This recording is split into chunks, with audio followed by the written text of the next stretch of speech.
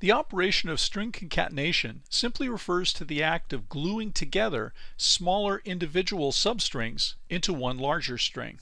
In these components, substrings may be of any combination of the following types. They can be string variables or string literals. They can be individual variables of any of the core data types, since they all have some equivalent string representation. And they can be objects of any class type, since all classes typically have some string representation using their own toString method. So really, you can combine just about anything into a string. There are two string concatenation operators provided by Java. One is the concatenation operator, the simple plus sign. Notice that in this context, the symbol does not refer to the usual numeric addition. If this binary operator sees a string on either or both sides, it recognizes that what is really meant in that situation is string concatenation.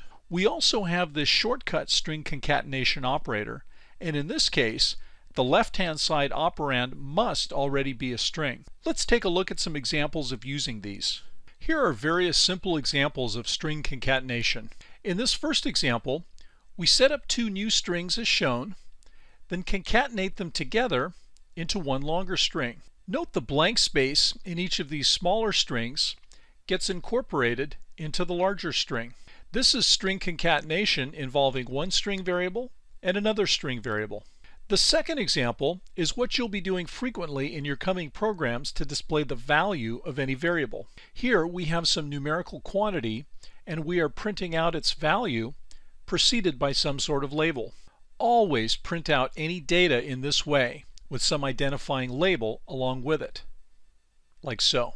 This entire expression within the print statement is a string concatenation of a string literal with some numerical value. Here's another way of doing the same kind of thing, except that here we're building up the string one small step at a time.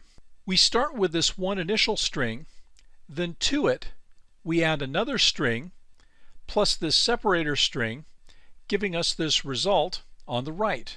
Then we repeat the process by updating the add-on string to bananas and then again concatenating it to the existing string giving us this updated result on the right. Notice how we are making use of the other string concatenation operator here, which we can do because the operand on the left side is already itself a string. The way to interpret this is toGet is set to the current value of toGet plus whatever operand is on the right. Finally, here's an example of how we can print out some Java object in a print statement. Again, we're incorporating some identifying label text together with a string representation of the My Birthday object, either explicitly using toString or implicitly using the object name only.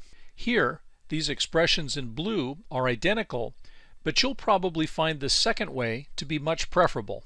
Hopefully the print examples we just saw look familiar to you. We've been doing this the last couple of weeks to display program outputs to the screen. System.out.println simply displays whatever it is provided and that argument is expected to be a string or something convertible into a string. As we've already seen many times, if anything part of a string concatenation is not already a string itself, it will be implicitly converted into a string. And this extends also to any type of object or any one of the eight primitive data types. If you provide println anything that's not already a string, it will make the conversion for you. By way of review, here's how we can go about inserting blank lines and multi-line strings into our program outputs. It's often useful to insert blank lines in our program output for better readability. So here are three ways to do that. We can use an empty call to system.out.println, which will print one blank line. Or we can incorporate a new line control character like so, and this will print two blank lines. Why does it do this? Remember that system.out.println by itself prints some text and then drops down to the next line already. So the added new line it's printing makes it two blank lines. We can also do the same thing for actual text by appending the new line character to the end of any output string. So this command will result in one blank line after the preceding text is printed. Give these things a try for yourself in your own programs. If we want some output text to span multiple lines, simply insert this new line escape sequence within your text at the point at which you want it to break. This first half will be printed on the first line, and this remainder portion will be printed on the next line. Note that you can add as many of these new lines into your text output as you wish. If you'd like to see some more examples of this, take a look at the existing application note Formatting using system.out.println, which you'll find in the Application Notes module on Canvas. Be sure to use these kinds of techniques to make your program outputs more readable for the user. To summarize, here are several common gotchas, or frequent errors made when using strings. The first character of the string is always at index 0, not at index 1 as we might expect, because Java is what we call a zero-based language. This is true of many other common programming languages as well, for example C and JavaScript.